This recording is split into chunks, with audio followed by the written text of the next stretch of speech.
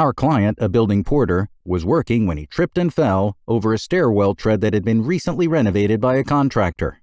Defendants argued that our client was not entitled to damages relating to the workers' compensation law as he was an employee of the building owner.